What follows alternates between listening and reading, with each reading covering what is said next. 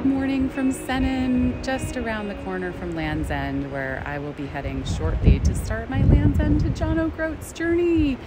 I'm just gonna head to a post shop first to drop off my completely sogged book of maps from Sustrans, which just got ruined in the torrential downpour that I rode through last night to get here. Apparently, it was the tail end of a hurricane, and it weighs about like at least a couple kgs now because it's so water ridden. so I'm gonna send it to my friend in London to hold on to and dry out for when I get back. Man, I can't even recognize this place compared to, you know, how I arrived last night in that rain. That was that was wild. It is beautiful and a, just a perfect day to start this journey. So I'm looking forward to it. I I also woke up to an email from Darren at Stanford Cycle Works who had asked me to text him when I got in last night and I did twice because I got a text from him wondering how I was doing, and my texts just didn't go through. I think my reception here was really poor. So he woke up quite worried and wondering if he needs to file an incident report and send out search and rescue. So fortunately, I got in touch and eased his worries that, oh man, I feel so awful that I kept him worrying all night, and I'm so, so grateful that he took so much care. So I'm going to go say hi to him this morning as I pass through Penzance on my way north and just give him a, bit, a big, big hug for helping this journey get off to a great start after a uh, adventurous and challenging beginning. All right, more soon. Okay, well, Google Maps is sending me to the post office this way, which is not so rideable. so I'm doing a little bit of hike a bike to start my day. oh man, let me share this view with you. Gorgeous. Oh, wow. Well, if the start of this journey is at all indicative of what's to come, this is going to be quite the adventure. and I don't know how far I'm going to get, but I am going to try to get to John O'Groats.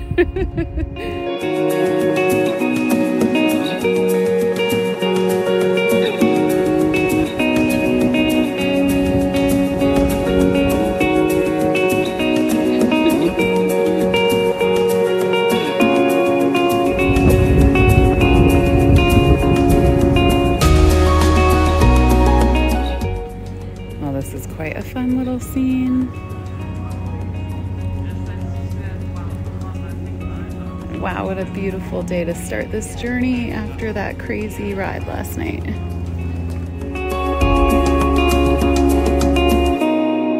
Okay, now I'm excited. Land's End really knows how to do this journey. It's really cool. There's so much signage that just reminds you that you're at the beginning or the end of a journey, depending on which way you're going. Check this out. I love it. All right, here we go.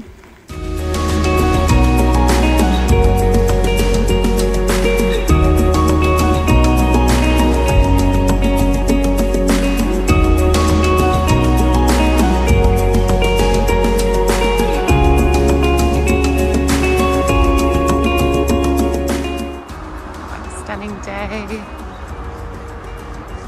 I'm just south of Penzance there's this castle, St. Michael's Mount. It's a medieval castle. reach it by causeway. It's so cool.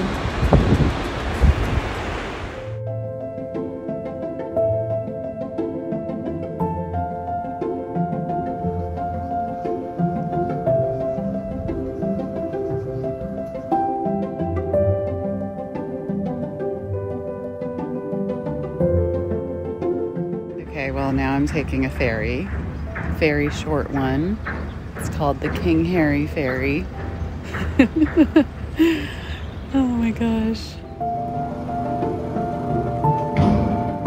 It's a beautiful river. A very short ferry ride. That's where we're headed, just across the way. Swim it.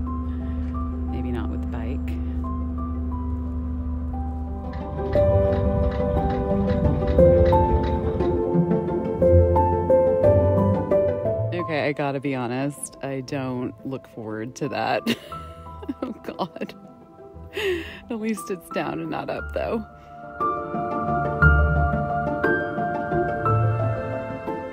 Well, what goes down must come up. It's such a beautiful scene.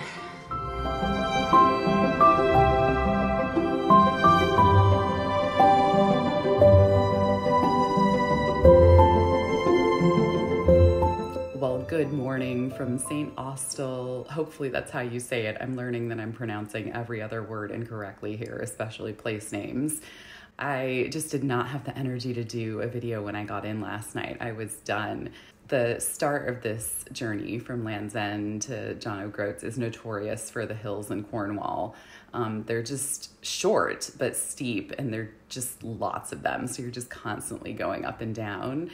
And I'm finding myself being super cautious on the downhills as well because I'm on these really narrow country roads and when the cars come, there's very limited limited room, and you kind of both have to squeeze into the the side of the the road, the verges, to get by. So, so I'm not going as fast on the downhills that I normally would, and then.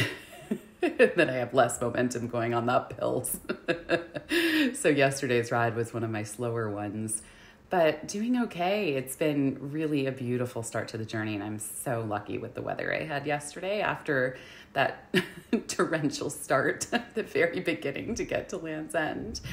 And we'll see how we go today. I'm not sure how far I'm going to get as usual. I didn't know where I would get today.